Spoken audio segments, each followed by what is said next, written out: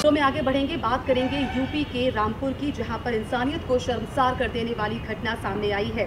आपको बता दें कि हथियारों के बल पर कुछ अपराधियों ने बाइक सवार जा रहे भाई बहनों को पहले तो रोका और उसके बाद युवती के साथ दुराचार किया। भाई के विरोध करने पर भाई को भी चाकुओं से कर गंभीर रूप से घायल कर दिया। जहाँ एक तरफ़ उत्तर प्रदेश पुलिस बदमाशों पर लगातार कार्रवाई कर रही है, वहीं दूसरी तरफ़ बदमाशों पर पुलिस की कार्रवाई का कोई खौफ नज़र नहीं आ रहा है।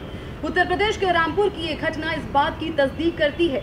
वहीं पीड़िता के भाई ने बताया कि वो और उसकी बहन रामपुर से दवाई लेकर अपने गाँव किशनपुर थाना बोट जा रहे थे, जहाँ चार बदमाशों ने भाई के सामने ही युवती के साथ सामूहिक दुष्कर्म की घटना को अंजाम दिया।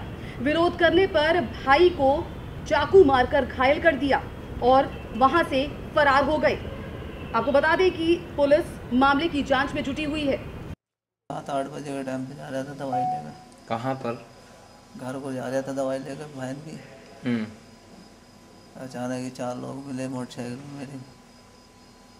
हम्म। तो डंडा उछेड़ दिया उसमें गिरा दिया। मुझे अंदर वो जंगल में ले जाकर हम्म। मेरे छुरी का हाथ मारे थे। मैं भाग के जब आया रोड पे तो हम्म।